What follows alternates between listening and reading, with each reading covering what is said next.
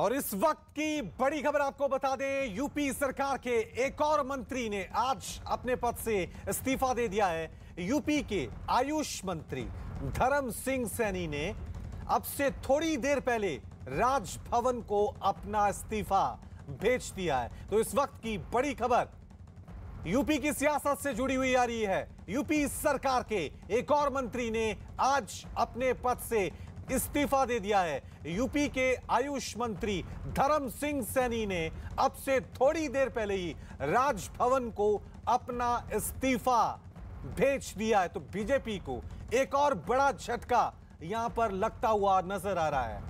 चलिए, इस खबर पे और ज़्यादा अपडेट के लिए सीधा रुक करते हैं मेरे सहयोगी अमित का। अमित, क्या कुछ जानकारी मिल पा रही है? तीसरे मंत्री हैं धर्म सिंह सैनी, जिन्होंने सरकार से इस्तीफा दिया है।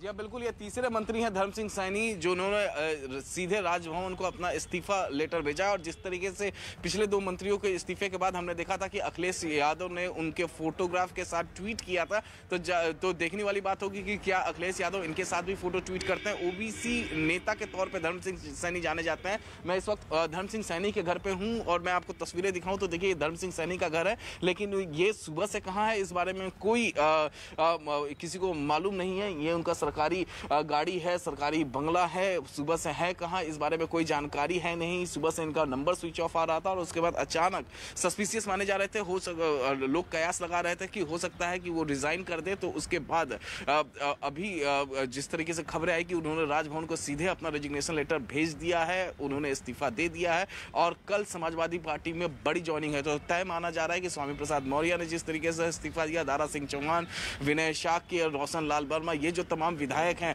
और, और, और तीन बड़े चेहरे जिन्होंने इस्तीफा दिया है ये तय माना जा रहा है कि कहीं समाजवादी पार्टी ये सब ज्वाइन करेंगे। अब फ़िलहाल मैं एक बार फिर आपको तस्वीरें दिखाऊँ तो देखिए ओबीसी के बड़े चेहरे हैं और जिस तरीके से पहले स्वामी प्रसाद मौर्य ने इस्तीफा दिया उसके बाद दारा सिंह चौहान और उसके बाद इसके बाद यहाँ पर धर्म सिंह सैनी ने इस्तीफा दे दिया। तो ज़ाहिर तौर पर ये करारा झटका है योगी मंत्रिमंडल योगी सरकार के लिए लेकिन जिस तरीके से हमने देखा केशव प्रसाद मौर्य ने अब से थोड़ी देर पहले एक प्रेस कॉन्फ्रेंस करके कहा कि 2017 से भी बड़ी जीत होगी इस बार बीजेपी की। यानी चंद दिनों बाद जो विधानसभा चुनाव होने वाला है उसमें बड़ी जीत होगी।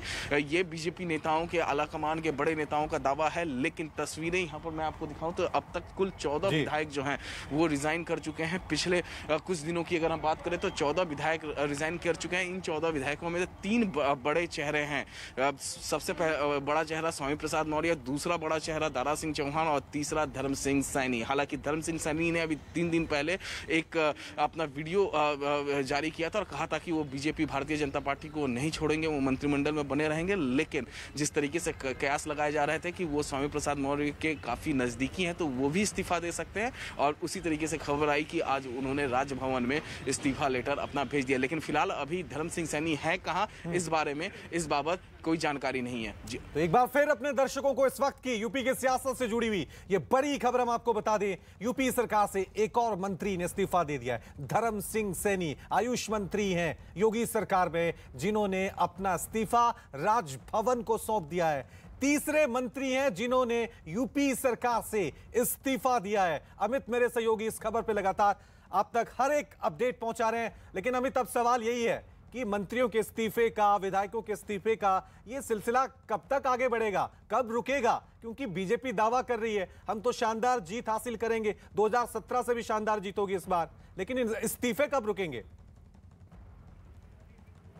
देखिए बीजेपी ने साफ़ साफ़ कहा हुआ है कि वो एक सर्वे करवा रहे थे कि जिन विधायक मंत्रियों का परफॉर्मेंस सही तरीके से नहीं रहा है पिछले पाँच सालों में उनको टिकट नहीं दिया जाएगा उनकी जगह पर नए चेहरों को टिकट दिया जाएगा। और बीजेपी का ये दावा है कि इन लोगों का टिकट काटे जा रहे थे और इसी वजह से ये रिजाइन कर करके समाजवादी पार्टी की तरफ़ या दूसरी पार्टियों की तरफ़ रुख कर रहे हैं। तो फ़िलहाल जो है अब तक जो है चौदह विधायक जो हैं और इनमें से कुल तीन मंत्री आज अगर धर्म सिंह सैनी को जोड़ लिया जाए तो ये तीसरे मंत्री हैं। तो, तो जिस जिस तरीके से लगातार रेजिग्नेशन मंत्री भेजते रहे हैं राजभवन तो इससे इस इसका डैमेज कंट्रोल करने के लिए स्वतंत्र देव सिंह और सुनील बंसल को भी लगाया गया था बीजेपी के आला कमान की तरफ़ से कि नाराज़ विधायकों नाराज़ मंत्रियों से बात किया जाए लेकिन इसके बावजूद जो है लगातार जो रेजिग्नेशन है विधायक लगातार रेजिग्नेशन कर अपना दे रहे थे इस्तीफा दे रहे हैं तो वहीं तीन मंत्री अब तक इस्तीफा दे चुके हैं तो जो डैमेज कंट्रोल करने की कोशिश कर रही थी बीजेपी वो डैमेज कंट्रोल हो नहीं पाया। फ़िलहाल चौदह लोग अभी तक इस्तीफा दे चुके हैं।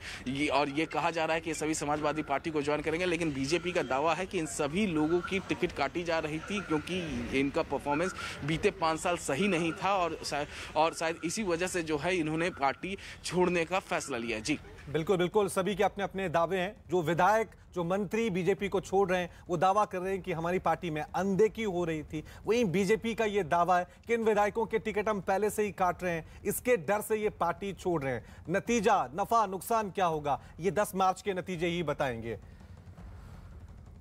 वहीं यूपी बीजेपी के अध्यक्ष स्वतंत्र देव सिंह ने बीजेपी छोड़कर जाने वालों पर बड़ा हमला बुलाया उन्होंने ट्वीट करके पार्टी छोड़ने वालों पर हमला किया और कहा कि ओबीसी समुदाय को बीजेपी में सबसे ज़्यादा प्रतिनिधित्व मिला है। उन्होंने विपक्ष पर वार करते हुए कहा कि विपक्षी पार्टियों में सिर्फ़ परिवार का ही भला होता है। तो बीजेपी प्रदेश अध्यक्ष स्वतंत्र देव, उन्होंने उन तमाम लोगों पर ट्वीट करके यह वार किया है जो पार्टी छोड़कर जा रहे हैं। तो यूपी बीजेपी अध्यक्ष स्वतंत्र देव ने ट्वीट किया है। क्या लिखा है वो भी आपको बता दें।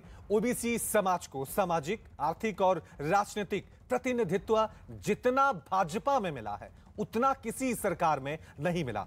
हमारे लिए पी का अर्थ पिछड़ों का उत्थान है। कुछ लोगों के लिए पी का अर्थ सिर्फ़ पिता पुत्र परिवार का उत्थान होता है।